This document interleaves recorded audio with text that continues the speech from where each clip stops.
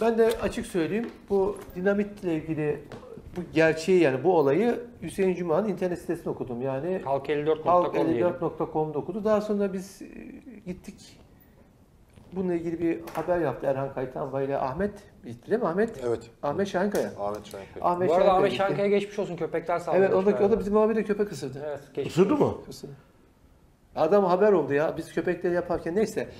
Ee, şu anda e, bu dinamit depoları. Bu dinamit depolarıyla ilgili ben kısa bilgi vereyim. Ondan sonra Hüseyin'e ben e, sözü vereceğim. Çünkü o konuyu daha iyi biliyor.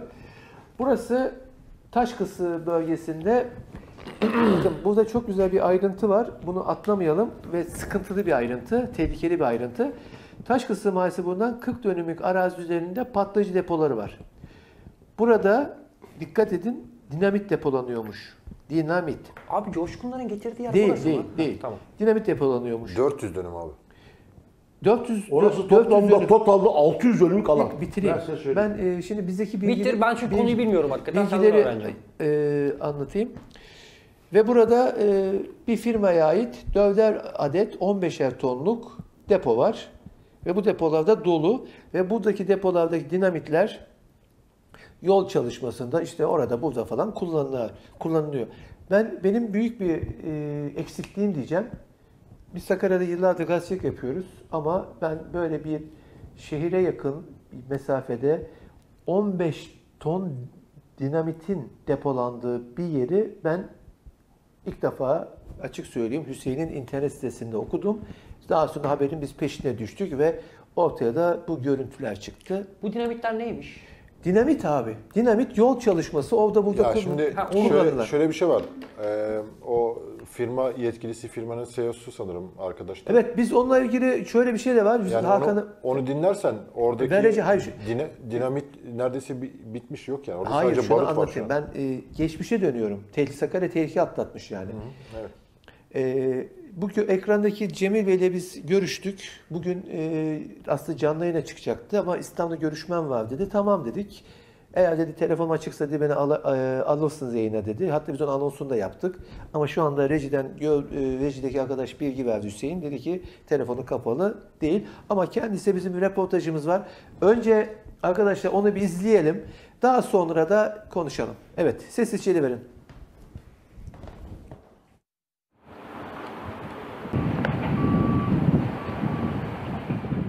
Adapazarı'nın Taşkısı mahallesinde bulunan ve çevresindeki 11 mahalle muhtarının imza toplayarak boşaltılmasını istediği dinamit deposu devir edildi.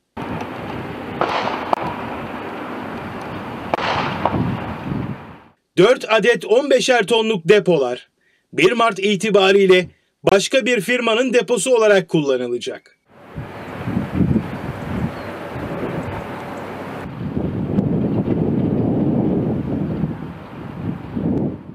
Firma sahibi Cemil Özdemir, depolarda bulunan barutun işlem göremeden patlamayacağını söyledi.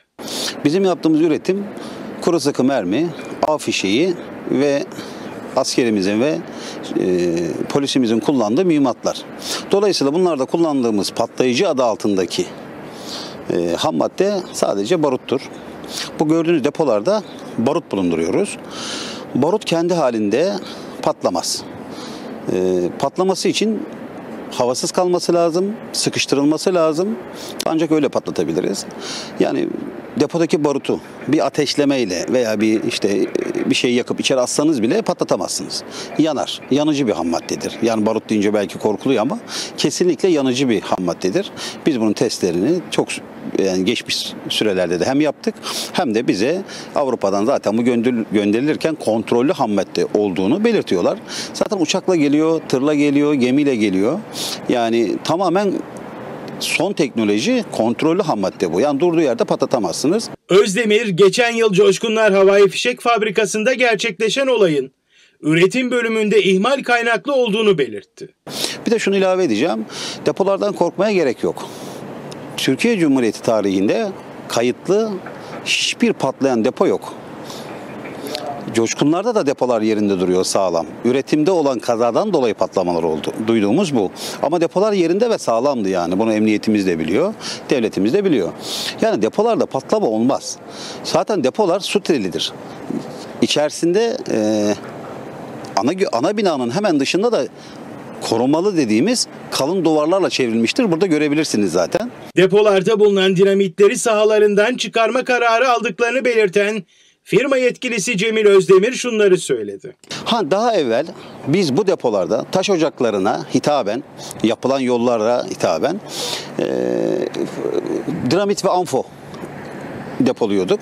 Ama son 6 aydır eee, dinamit ve amfoyu tamamen sahamızdan çıkarma kararı aldık. Şu an depolarımızda çok minimum yani eee, çok az denecek kadar kaldı. Bitmek üzere yollar var. Onları eee, ihtiyaçlarını karşılıyoruz. Bu da bittikten sonra Ocak ayından sonra tamamen dinamit ve amfo sonsuza dek bu sahadan çıkıyor.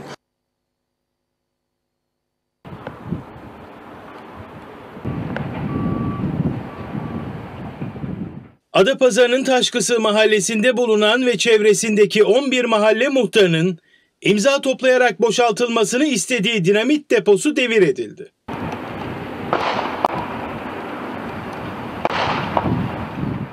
Dört adet 15'er tonluk depolar 1 Mart itibariyle başka bir firmanın deposu olarak kullanılacak. Evet. Şimdi arkadaşlar e, evet. Yok ben su yok, sorun değil. Yayında olup olma noktası mesele değil. Şimdi ben e, şöyle bir şey diyeyim. Bu taş kısığında hatta e, doğalgaz çevrim santrının yanı başında. Evet. Hatta bir adım ileri gideyim. Yerleşim alanı ekranda gözüküyor bakın. Ekranda yani aşağıda yerleşim alanı da var. Görüyorsunuz yani bakın. Yerleşim alanı da var. Ve biz buraya hangi mantıkta kim koyduysa, hangi kafa yapısıyla, hangi ruh haliyle biz buraya 4 adet 15'er tonluk dinamit depolanacak depo yapmışız. Bakın 15 ton. 15 ton. Öyle değil de ben sana anlatayım. Bak bakın adamın anlattığını anlatıyorum. Ve bu dinamitler 6 ay kadar önce şimdi hocanın e, bu Cemil Bey'in ifadesinden anlıyoruz sözlerinden e, taşınmaya başlamış ve orası artık e, kuru sıkı mermi, av fişeğini ve e, polislerimiz için Barut mühimmat deposu olarak- olmuş abi. Barut deposu olmuş. Evet Hüseyin konu nedir? Şimdi şu, bu konu yaklaşık iki yıllık bir konu. Burada eee dört tane depo var. Bu dört deponun üçü 10 tonluk. Yani toplamda 30 Kırk. ton. Yok. Bak dört depo var. Üçü 10 tonluk. 30 ton. Bir tanesi 30 tonluk. Bir daha söyle. Bak 3 tane 10 tonluk depo var. Bir tane de 30 tonluk depo var. Toplamda 60 tonluk depolar var burada. 4 depoda 60 ton dinamit var. Yerin altında mı bunlar? Hayır hayır. Açıkta.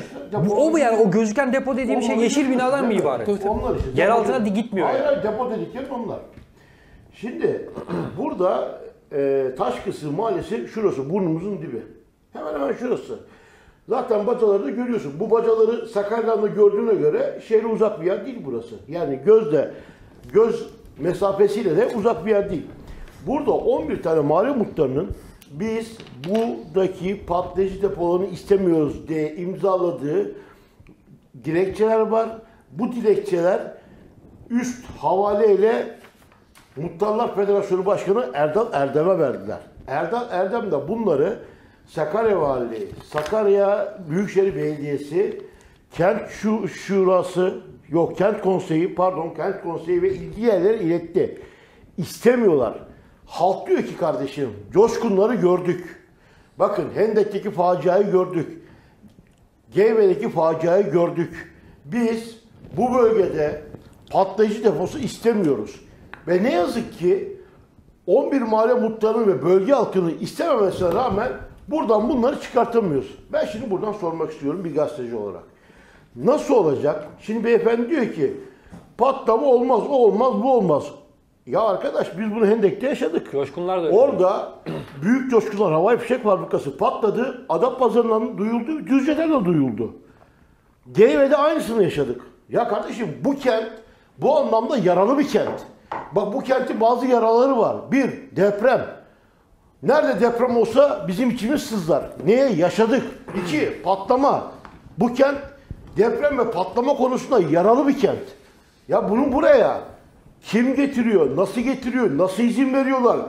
E, valilik buna nasıl izin veriyor? Veya ilgili belediyeler buna nasıl izin veriyor? Ve 11 mahalle muhtarı bunu istemiyoruz diyor. Bu 11 mahalle muhtarı bunu istemediğini şahıs olarak değil, mahalle halkı olarak istemiyorlar. Ve adam pazarın bunun dibinde bir yer. Kardeşim bunu buradan kaldıracaksın. Burası 40 dönüm değil Zafer Tokuşu. Burası yaklaşık 600 dönümlük bir alan. Demedim. Bak, 400 dönümü kadar. Yok 600 dönümlük bir alan ben sana söylüyorum. 600 dönümlük alan ve burası e, imam mevzuatına göre yanılmıyorsam yanılıyor oluyor da bilirim ama burası üniversite alanı gözüküyor. Üniversite alanına bakın üniversite alanı üniversite? burası. Alan ayrılmış, rezerv edilmiş. Üniversite alanı burası. Belli değil hangi üniversite olduğu. Değil yani üniversite yapabilirsin İmar buraya. planı, üniversite. İmar planında. planı yaparken buraya üniversite yapılabilir. Ve hani yeşil alan ayrılırlar ya. Bak, eğitim Ve buraya geldiğinde üniversite alanına getirmişler.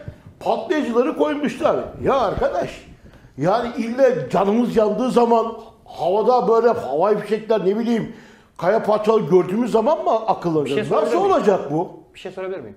Yani bir dakika ben bitireyim. Halk eğer bu kenti yönetenlerin gözünde Sakarya halkının e, lafta olduğu zaman geçen 19 Ekim'de gördük işte muhtarlar günü vardı ya. Muhtarların hatrı varsa, halkın hatrı varsa, bunların bu kentte hakkı hakkı varsa istemiyorlar kardeşim. Orada fişek olmaz. Yok barutmuş, oymuş. Ondan sonra ne oluyor biliyor musun? Barutluyken dinamite dönüyor, dinamikken patlayıcıya dönüyor falan filan. Ya bak görüyorsun arkası çevrim santrali. Doğalgazla çalışıyor orası. Bak doğalgazla çalışıyor. Ya oradaki bir patlama o doğalgaz çevrim santralini tetikler mi tetiklemez mi? Ben bilim adamı değilim. Düz mantık bakıyorum. Hendek'teki bir patlama Düzce ve Sakarya'nın göbeğinden duyuluyorsa burun dibindeki bir patlama şu çevrim santralini tetikler mi tetiklemez mi? Dolayısıyla uzun lafın kısası bunları buradan kaldırması gerekiyor. Bölge halkı istemiyor, muhtarlar istemiyor, kimse istemiyor. Bir daha diyeyim, sözü vereyim ben papağanım ya. Bu kent deprem ve patlama konusunda yaralı bir kent. Bunu kimse unutmasın. Şimdi Hüseyin Cuma sen konu haberi yaptığın ilk gazeteci olarak sana soruyorum. Bir, e, burası taş kısığının bu bölgesi. E, Hendek'teki havai fişek fabrikasından kalan barutların nakliye edildiği yer mi? Üç tane şehit verdiğimiz yer. Evet, Yer, evet Aynı yer. Evet, evet, aynı, yer. Evet, Aynı, yer. Şimdi buradan Üç aldım. şehitimizi orada verdik. Evet burada aldım. Şimdi buraya bunu bir kenara koydum. İkinci soru. O halde burası devletin kademelerinin yasal olarak ildeki patlayıcıların gönderildiği yer olarak tanınıyor. Doğru mudur? Biliniyor kaçak. Biliniyor. He, kaçak bir şey yok. İmha edilmesi mi diyorsun? E- Evet, bak Evet. şimdi. Ah, tabii, tabii. devletin sonuçta burası şey yapılıyor. Peki Orada kaçak bir şey yok. kaçak bir şey yok. Peki buradaki asıl tehlike ne? Ne, ne gibi bir önlem alınması gerekiyor? Ne Alınmamış. önlemi kardeşim? Burada patlayıcı olmaz. Şehrin burun gibi orası. Bulunduğu yerden dolayı Allah sıkıntı var. Allah. Bak abi yanlış anlıyor, anlıyorsun galiba. Bunu ilk defa yeni bir şey değilmiş bu. Çok eski olan bir şey dedi. Ya bunu yetkililer biliyor da Bir neden orada şimdi- ne kadar ne kadar patlayıcı olduğunu biz bilmiyoruz. Dikkat et. Bak, bak tekrar tane tane söyleyeyim lütfen daha kelimelerimi söyle, cımbızlamayın. Bu bugün olan bir şeymiş gibi anladım ben bunu ilk başta ama aslında bu yıllardan beri devam eden bir şeymiş. İki yıllık mevzu. Bir. Daha da fazla olabilir. Bir, neden Evet. şimdi gündeme geldi? İki, burada bunların bir risk mi taşıyormuş ki şimdi gündeme geldi? Onu soruyorum. Ha güzel. Neden gündeme geldi? Evet. Bu daha önce de gündeme geldi. Gelmiş daha doğrusu. Bunu ben evirdim, çevirdim, baktım, sağdan soldan baktım. Bu olayda muhtarlar devreye girmiş. Bunu bak halk istemiyor tamam mı? Halk istemiyor, halk istemiyor. Halkı duyan yok. Hani var ya bizim bu me- 17 Ağustos depreminden sonra çıktı sesini duyan var mı? Bizim halkın sesini kimse duymuyor. Ya Hendek patlamasından şey bu. sonra bir e, şey oluştu belki de. Heh, bak şimdi Ama anlatayım. onlar da buraya O- geliyordu yani. Bak bak bir dakika anlatayım bak. Yo, yo, Vatandaş halk bunun tarafından. tepkisini göstermiş, kimse duymamış vatandaşı. Muhtarlar 11 mahallenin muhtarı ortak ortak imza yapıp dilekçe verince ve Hendek'teki patlama da gündeme gelince artık burası tamamen istenmeyen bölge ilerlemiş. Halk, muhtarlar bunu istemiyor kardeşim. Hendek'te biz diyor göreceğimizi gördük. Şehrin göbeğinde bu olmaz. Şimdi orada bir tane fabrika var. Adam anlatıyor zaten. Mermi imalat ediyor. Ya mermi dediğin patlayıcı işte. Buraya ne geleceği, üç gün sonra buraya bunu göz yumarsan birisi Ankara'dan işi bitirecek, ket metropolü derken buraya getirecekler, patlayıcı da getirecekler. Burada ne olacak? Alan büyük bir alan. Şu an- Dolayısıyla burada bu iş olmaz kardeşim. Şunu araştırdın mı? Peki bunun olması gereken standardı ne? Yani Ya yerleşim bırak birbirinden uzak mı? Dağın tepesinde ya mi olmalı? bak bir dakika. Ha, Bir- bunlar bir yer Bir depolanacak dakika, ya onu bir diyorum. dakika anlatayım arkadaşım. Bir dakika anlatayım. Coşkun Havai Fişek Fabrikası zamanında dört yoldaydı. Dediler ki bu Çok patladı. Ben çok gitti. Ben silahla tehdit ettiler orada. Ben silahla tehdit edildim orada. Davalık olduk, mahkemelik olduk. Hiç şaşırmadım. Tamam? Hakan şimdi kafayı böyle yapıyordu. Yok hep senin başına ya. geliyor ya onun için. Arkadaşım ben sıcak haberim. Sizin gibi masa başı değilim. Kaç tane sıcak habere geldin? Ne oldu? Ajanslı çalıştı adam, İHA'da çalıştı. Kaç kere habere beraber gittik, Hendek, haberi yok. İşte. Coşkunlar, Coşkunlar, Arabası arası yaptı kaç kere ben götürdüm. Coşkunlar, kendini parlat. Coşkunlar gitti Henden ta neresine yukarı yardımsever Kalacaköy'üne misin? gitti. Bak bir daha anlatıyorum. Nurettin de Öldüğünüz için papağana düşeyim gene. Coşkunlar zamanında dört yoldaydı. Oradan kalktı çok patlama olunca Hendek'e gitti. Hendek'te patladı ta buraya kadar geldi. Kardeşim burası şehir içi. Sen diyorsun yani burası yeri değil de neresi yeri? Kardeşim burası şehrin, burası Coşkunlar'dan 10 kat daha yakın. Coşkunlar ta İyi de adam orada artık dinamit Abi ama ben sana fikrini Bu sormadım. şehrin Bir araştırdın mı? Yani bunun mesela Arkadaş şöyle bunun yeri neresi olsa olsun. Bunun yeri burası. yerleşimin çok dışında olması gerekiyor. Herhalde arkadaş. Hendek, Çalıcaköy, yukarı Çalıcaköy'ündeki patlama şehri yerinden oynatıyorsa burada olacak bir patlama. Allah korusun. Ya burnu, ya Taşkısı Mahallesi burun, burnun dibi. Biliyorum abi ben futbol Burnunun oynadım taş dibi. kısığında. Yeri daha çok anımsıyorum. Ya Burada böyle bir şey burnunun olduğunu. İyi de bilmiyorum. Hüseyin Cumalı sen Yani şimdi var orada. haber, haberi yaptığın için e, senin üzerinden gidiyoruz da e, bu anlatan işte yetkilinin söylediği orada artık dinamitin neredeyse bitmiş düzeyde olduğu. Coşkunlar ne anlatıyordu bize yıllarca? Çok çok az bir dakika ben ben seni dinledim Mantık sen doğru. dinle. Ee, dinamitin tamamen bitmek üzere olduğu ve burada barut e, depolama tesisi olarak kullanılacağı. Barut nasıl bir özelliği vardır biliyorsun değil mi? Yanar. Ya bilmiyorum. Ba- anlatıyor zaten beyefendi. barut barut patlamaz. Yanar. Barut bildiğin sadece Sıkışınca patlar. yanar. Yani sıkışınca patlar. Yani bunun üzerine işte bilmem kaç tonluk bir şeyin düşmesi lazım ki o şekilde patlaması gerekir. Ben Yani- şimdi sana bir şey diyeceğim. Ne şu anki hani dinamit dinamit buradan gidecekse sadece barut olarak kullanılacaksa burası buranın ne gibi tehlikesi olabilir başka? Güzel bir soru. Ee, hani böyle oluyor ya şeyde e, basın toplantıda güzel bir soru teşekkür ederim. Sen hiç ayranın ekşiyeni gördün mü? Ne? Hiç Tamam. ayranın Ya, argo kelime. sen hiç ayranın ekşiyeni gördün mü? Adam ne diyecek sana burada patlama olur, şehir yok olur der mi sana adam? Ne diyecek? Korkulacak bir şey yok. Ocak ayına kadar gidecek diyecek. Onu diyecek, bunu diyecek. 600 dönüm bir araziden bahsediyoruz Hakan. Bugün bir fabrikayla girdiler oraya biliyorsun değil mi? Ondan sonra birisi gelecek oraya bir fabrika daha kuracak.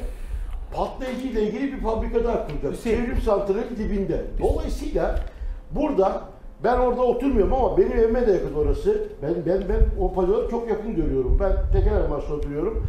Burada 11 mahallenin halkı istemiyor. 11 mahalle muhtarı istemiyor. Muhtarlar, Türkiye Muhtarlar Federasyonu Başkanı bununla ilgili dilekçe vardı. Ben kendisiyle görüştüm Erdal Erdem'le. Ben dedi üzerime düşeni yaptım. Gerisi kalan, geri kalan Sakarya Valiliği siyasilerde. Yani burada bir çocuğun bacağına bir şey olsun, kopmasına gerek yok. Vebali onların kardeşim. Evet. Peki bir adım Ee, öteye götürüyor evet. işi. Evet. Gene size sorayım. Evet buraya böyle bir şey yapılmış. Şimdi burayı bilmem etmem. Ama biz Coşkun Havai Fişek Fabrikası'ndaki facianın ardından ikinci bir faciayı da o daki patlayıcı malzemenin taşınırken yaşadık. Yaşadık. Şimdi, Şimdi davası evet, açıldı. evet, taşınırken yaşadık. Şimdi buranın taşınmasında da böyle bir risk olabilir mi? Şimdi şöyle Buraya taşıyalım Hakan, diyoruz. Hakan, Burası istemiyoruz Hakan, diyoruz. Bak anladın Burası mı sen zaten bitmiş. Yani Ha, adamın Şimdi buraya göre. şey yapabilir. Şimdi bakın bunu teknik olarak her programda söylüyorum. Bunu Hüseyin Cumalı gene kızacak ama ben gene söyleyeceğim.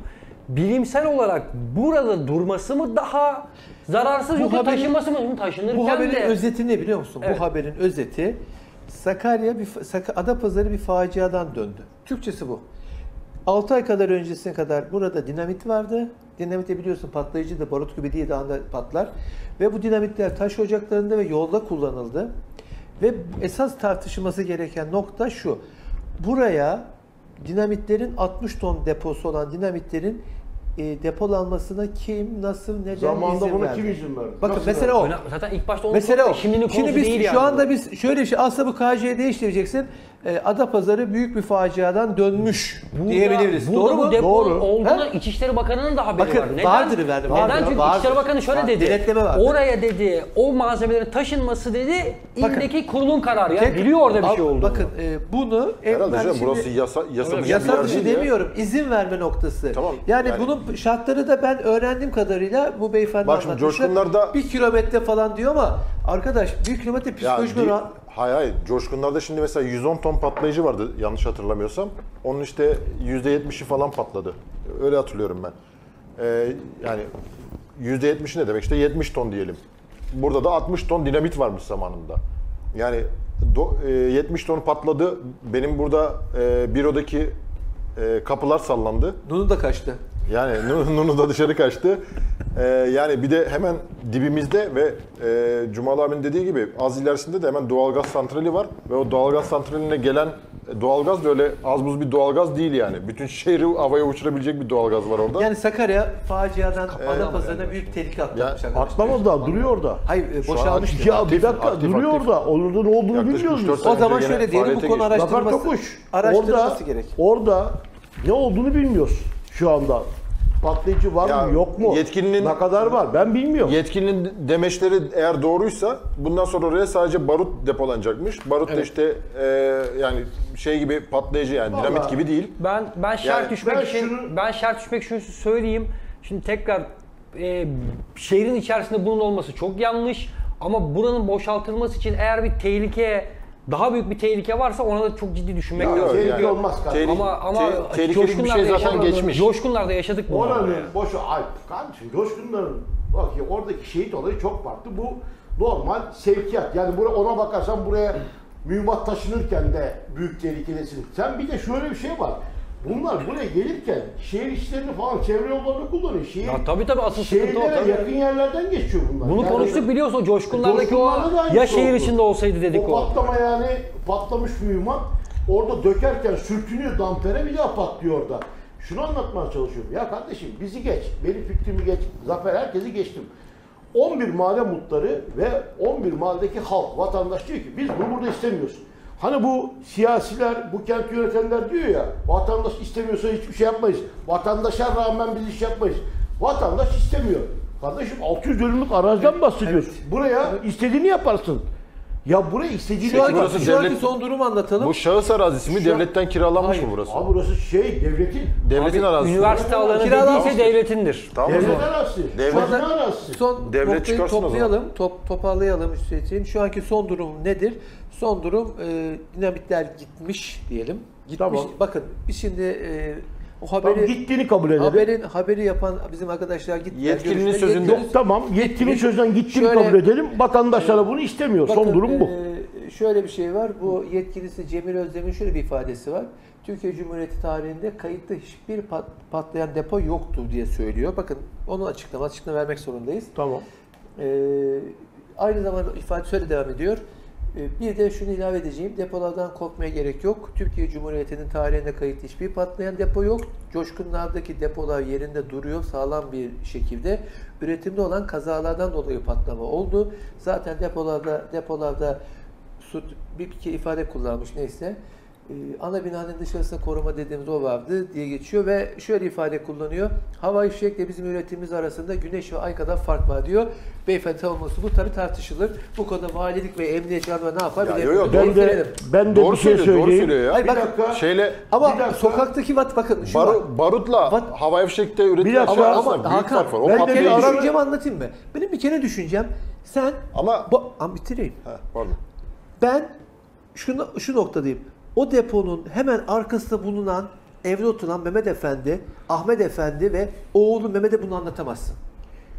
Ben bir ben bir ben, Ben, ben kendi evimde istemem ya. bir dakika bir dakika ben bir hafızamı hafızamdan Tamam size bir şeyler olay bu. anlatayım. Anlat abi. Yaşanmışları anlatayım. Coşkunlarda büyük patlama hep konuşuyoruz. Onların da orada daha önce patlamalar oldu. Orada patlamalar oldu.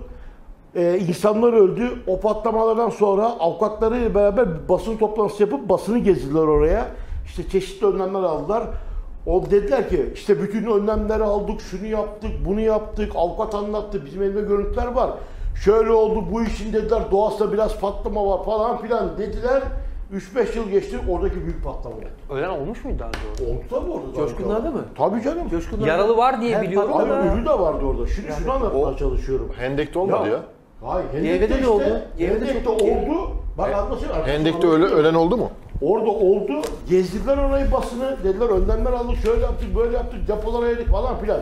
Kardeşim kimse ayranı meksi demez. Tamam. Beyefendi güzel anlattı. Saygı duyuyorum. Son sözüm şu. bölge halkı ki bölge halkı dediğim Adapazarı'nı içine kat. Bu bunun içine Serdivan'ı içine kat. Yakın ha yanlış anlama. Çevrim santrallerini görüyorsunuz. Ve 11 Muhtar ve Muhtarlar Derneği Başkanı ve halkın geneli bunu istemiyor kardeşim. Ve bir daha söylüyorum deprem yarası olan, patlama yarası olan, onunla bizim acıları olan bir kentte bunu anlatamaz.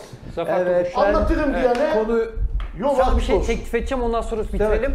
Ee, abi bu konu çok önemli onun için bence beyefendinin anlattığı konuları ben haftaya bir uzman eşliğinde açıkçası değerlendirmek isterim. Çünkü eğer burada e, bir Beyefendi tehlike varsa, katılacaktı. bir tehlike varsa, bak abi beyefendi bize istatistik aranması, biz bir işin uzmanı değiliz. Yok, evet. Bildiğimiz tek şey barutun yanacağı yanmayacağı değil mi Hüseyin Bir Cuma? abi? dakika sen uzmanı geç. Bir dahaki hafta Bitireyim. Taşkası Mutlar'ın canlı yayını alsana. Abi bak Hüseyin abi. Bir dakika canlı, Alırız, alırız. bir dakika asıl tehlike onlarda adam burnun dibinde. anladım. Taşkası Hayır, hayır. Canlı yayını alalım. Abi şunun için diyorum Hüseyin abi. Adam bir iddiada bulunuyor. Hayır, kimse ayrılmak için ya demez bırak dedi ya. uzmanı. Uzmanı bırak kardeşim. Bak bir şey Abi diyeceğim. uzman ya uzman diyecek Allah ki sana. Allah. Ya arkadaş. Bilime bu mantığa aykırı ya. Ya bırak uzmanı bir şey Ne anlatacağım kadar sana. cahilce bir Ya ifade. bırak Hüseyin, uzmanı kardeşim. Hüseyin, bir şey anlatacağım Hüseyin. sana. Bir dakika. Allah. Hüseyin. Bir dakika arkadaş. Bir insan bu kadar Ya cahil arkadaş, cahil uzmanı konuşamaz bırak ya. bir şey anlatacağım sana. Neyin uzmanı be? Neyin uzmanı? Çok enteresan Patlayıcı ya. uzman. Çok enteresan. Hem de ya bir dakika. Sen bir sen bacağına bir şey oldu mu şey mi diyorsun? Ne uzmanı? Oraya ya- yara uzmanı. geçer falan. Bırak ne uzmanı? Lan doktora Ne şey mi uzmanı? diyorsun? Ne uzmanı? Bırak yapma falan Hadi, filan mı diyorsun? hadi oradan. Ne uzmanı? Hendek'te. Get- uzmanlar geldi orada 50 kere onu teşhis ettiler. Patlamaz bir şey olmaz dediler. Ne oldu? Bırak uzmanı. Uzman diyecek ki. Uzman diyeceğini sana söylüyorum. Tedbirini alırsan şu kadar yasaya göre şu kadar uzak olursa o olursa bu olursa ondan sonra çuvalı yerde. He? Zafer Tokuş. Şimdi Patlama oluyor. Uzmana. 10 Uzman saniye, uzman 10 gerek saniye yok. laf istiyorum. buyur. Uzmana gerek yok. 10 saniye laf istiyorum. Şimdi Kardeşim coşkunlarda da Ya biz uzmanlar konuştuk. günlerce bize anlattılar. bırak elimi bir konuştur. Bir dakika dur dinle. Allah Allah. Uzmanlar hendekte bir şey Peki, olmaz, o olmaz, bu Taşkısı olmaz, bu muhtarına olmaz. soracaksın. Taşkısı muhtarı da Abi, anlatacak abi. Ali abi damdan gayet. düşen halinden Ya. damdan düşen ondan.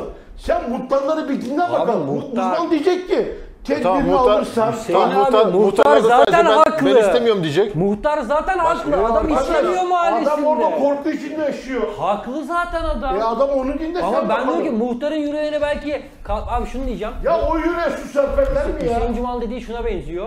Sen dediğinde biliyor musun? Senin kafana biri mermi dayayacak silah, birisi diyecek ki sıkmaz sıkmaz. Kafanda senin silah dayalı. Öteki adam diyor ki, ya bak sana bir şey anlatayım, örnek vereyim. Bu kadar bir- cahil bir fikirle Murat Uygun nasıl ben diyor canlı yayına çıkıyorum ya? Murat Uygun diyor ki arabayla gidiyoruz. Bas koçum bas, bir şey olmaz. Ya Murat Uygun'a ne olacak? Araba benim. Bir çukura giriyoruz, dingil kopuyor. Para benden çıkıyor. Murat Uygun diyor, bir şey olmaz koçum, bir şey olmaz koçum. E, araba benim arabam. Bu senin dediğin onun gibi. Uzman diyecek ki bir şey olmaz. Yasaları anlatacak, teknik anlatacak. Şu kadar evler olacak, bu kadar evler olacak. Ne diyecek adam? Sen Evet. mutları dinle bakalım. Evet arkadaşlar konuyu Abi, evet Allah evet bitirdik Hemen- Kon- konuyu kapattık Hemen arkadaşlar devam. lütfen. Abi. Uzmanları abi konuşalım. senin kurallarına uymak bu programda susuyorum. Yeter ama sen de- Ama susuyorum. Tamam, Bak sen ben- sus diyor, o Ya susmuyor. arkadaş sus. Arkadaş bu orada olmaz. Konuşma işte. Ne uzman değil. Zafer Ya Tokuş, tamam arkadaş, Zafer. Tokuş. Bak adam bana lafı geçiriyor, beni gene susturuyorsun, ben gene susuyorum. Abi sen buyur konuş ne söyleyeceksin söyle Ya buyur. ne konuşacak? Hayır, Uzman buyur, çağıracak. hayır. Uzman ne diyecek sana? Hadi Teknik söyle, anlatacak söyle. Zafer. Evet devam et hadi sen de söyle. Evet. Abi Heh. çok özür dilerim de Hakan abi lütfen sen adil bir adamsın burada şey yap. Tamam oldu. Suskunluğumdan dolayı beni susturduğun için Sefa, dile- sen ne anlatıyorsun? Abi işte Ben konuşturmuyorsun. bir şey ya, Suskunluğum için bir konumu dile getiriyorum. Bana söz hakkımı sadakaymış gibi önüme sunuyorsun. Sonra al bu sadakayla konuş diyorsun. Bu bir sadaka değil. Ya- Bana karşı Ya ithamın söz hakkı bu ya. nasıl konuşuyor canlı Zafer ya? Uzaksınız. Bu nasıl konuşuyor Zafer ya? Realiteden uzaksınız ha. Ne? Bu realiteden uzak. Ne diyor ki ne uzmanı Ya sen diyor. ne konuşuyor Kardeşim diyor. ya. Öteki de şey diyor. bu ne yaşıyor? Bunun uzmanı mı? Ben gerçekleri söylüyorum. doğru söylüyor. Ya Ben arka gerçekleri söylüyorum. şey- Ya bırak Ben Zafer bunlar bunlar var ya bozacı şıracı. Size rağmen gerçekleri söylüyoruz bu programda. gerçeği Bu kadar ya? basit. Ne gerçeği? Biz burada size rağmen bir şeyler Bağırıyor, söylemeye çalışıyoruz. ba- bağırıp duruyor. Ben ben böyle yani çok fazla ba- bunun yüzünden ben de bağırmaya başladım. Hakan'cığım bozacı şıracılık yapmayın. Ya. Uzmanı o. Senin evin orada olduğunu düşün. Burnun dibine 60 ton Hüseyin, dinamit var. Ne yapar? Tamam da çocuk Bak kötü şimdi- bir şey söylemedi bak ki. şimdi Ya çocuk- uzman ya. Anlamıyor ki. Sen- anlamıyor Ya- ki. Bu kadar. Kapasite bu kadar ya. Sen şimdi, sen şimdi Kapasite bu doktora kadar gittiğin ya. zaman, Sefa, sen kimi gömüyorsun ya? Ne doktoru kardeşim ben hastayım işte. ne oldu ben gribim. Abi E, uzman ne Evet. diyecek? benim kalbim tekliyor ama ben ne doktoru Ben ben, var- Ne doktoru? Ver bana portakalını Vakaları, yeşil. vakaları vereceğiz, uzman ekrana verin. söyleyeyim. Uzman diyecek. Hayır, Evet. adam diyor ki sana uzmana 50 soralım. Tek Kötü, vaka, evet. kötü bir şey söylemiyor ki. Sakarya'da vakalar bir ay sonra düşüşe geçti. Arkadaşlar şu anda 15-21 Ekim 2021 tarihli Sakarya'daki vakaları görüyorsunuz.